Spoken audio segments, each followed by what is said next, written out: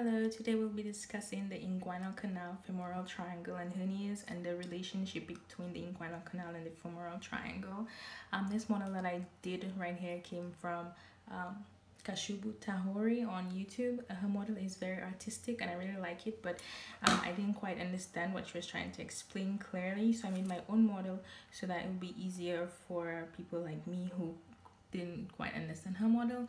And I will definitely link her video um, up above because her video was my inspiration for making this um, model. So here we go. Um, first off we've removed the skin. We've removed the Camper's fascia and the Scarpa's fascia. And this is like the lower abdominal pelvis region okay? So when we remove the skin and the associated um, connective tissue the first thing we see is the external oblique muscle the external oblique muscle um, has a wide range of um, connective tissue and this um, and its aponeurosis forms the inguinal canal, sorry, the inguinal ligament, and the inguinal ligament runs from the um, iliac crest um, to the pubis symphysis. Anatomists will know specifically where, but we just need to know that it runs from the somewhere in the iliac region to the pubis symphysis. Okay, so how here we see we have the external oblique muscle. If we were to um, cut this a little deeper or if we were to lift up the external oblique muscle we'll see we have the internal oblique muscle. And look at how the internal oblique the external oblique muscle fibers are running. They're running obliquely. Okay after the internal oblique we have the transversus abdominis muscle. Look at how it's running um, almost transversely after the transversus abdominis muscle, we have the fascia transversalis muscle. And after the fascia transversalis muscle, we have the extraperitoneal tissue, which I did here as the yellow fatty layer. And after the extraperitoneal um, tissue, we have the peritoneum. Okay? All right. So, um, in relationship to the peritoneum, we can see that we have the external iliac artery and the, and the external um, iliac vein respectively. Okay, so now we're going to talk about the formation of the inguinal canal. So the inguinal canal is more prominent in males because we know that the testes is an abdominal structure, so it's it's formed within the peritoneum and it needs to go into the testes. So let's imagine we had the testes right here and then a structure which attach which called the gubernaculum attaches the testes to the to the scrotum which is somewhere down here. So the testes will travel will pierce through the peritoneum and pierce through all these significant um, um, muscles and fascia to, to go into the scrotum. And the journey of the um, the journey of the testes for these structures creates a canal known as the inguinal canal. So I'm going to show you, I'm going to roll up this paper. This is the paper I made with it. I'm going to roll it up and then see how the testes passes through it. There's um, associated structures so we could see the formation of the inguinal canal. So here we see it. We see that the inguinal canal is formed for the muscles from the peritoneum transversus here and goes into the testes so this is the inguinal canal right here. Okay? So this is how the inguinal canal forms. And in males the inguinal canal is made up of the um, spermatic cord. It's made up of the spermatic cord and the genitofemoral um, nerve. And in females it's made up of the round ligament of the uterus and the genitofemoral nerve.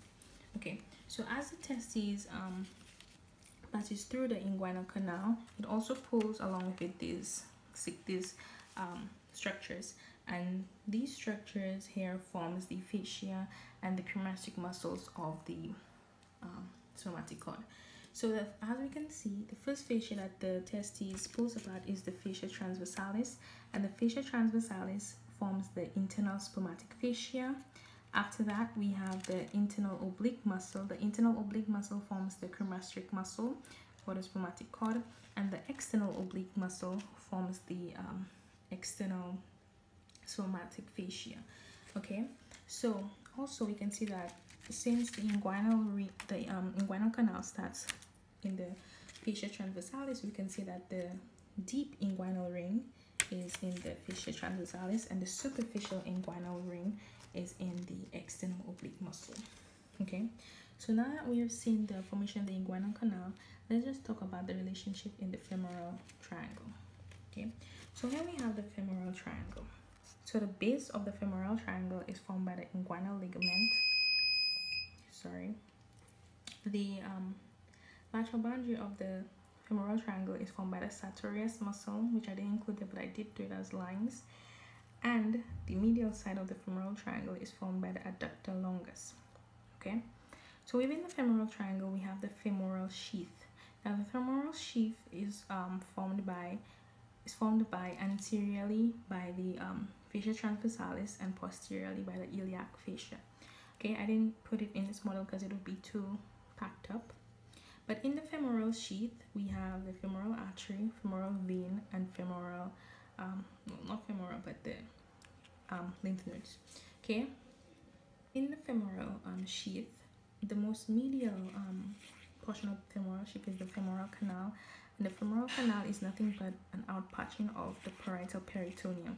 Remember that all these vessels, if you look the external iliac artery and the external iliac vein, they transverse beneath, they go beneath the inguinal ligament to form the femoral artery and the femoral vein.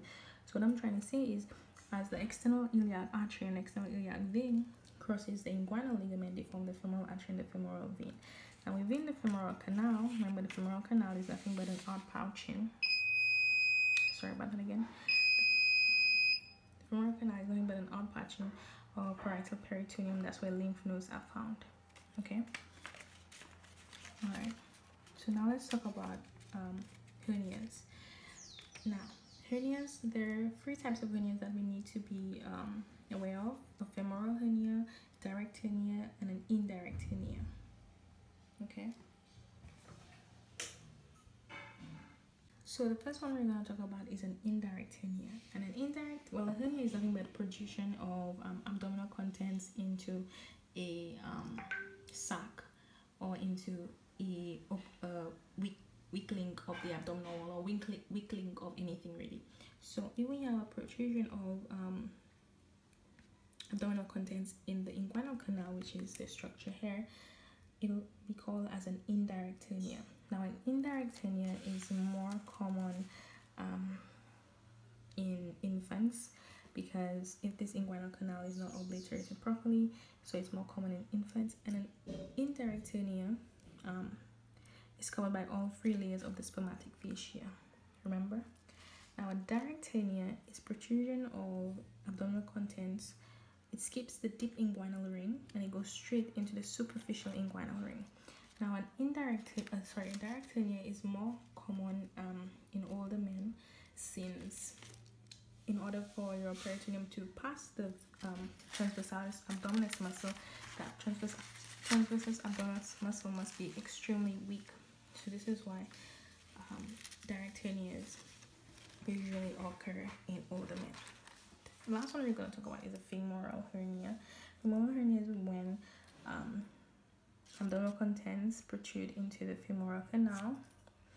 Um, it's more common in women, really, and the femoral canal is the one that is most dangerous because it can cause incarceration and strangulation of the abdomen.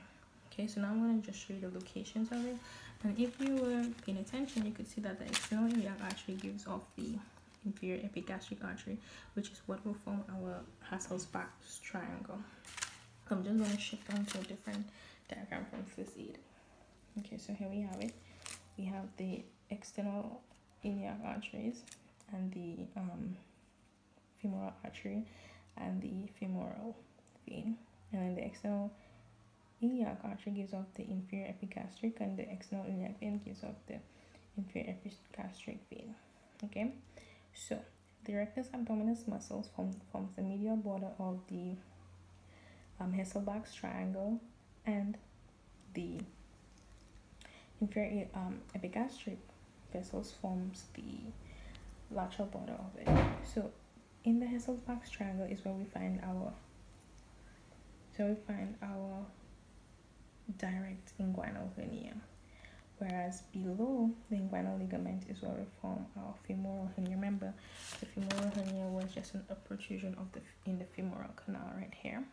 Okay, and an indirect hernia is formed laterally to those um, epigastric vessels. I have it on my model if you would like to see it.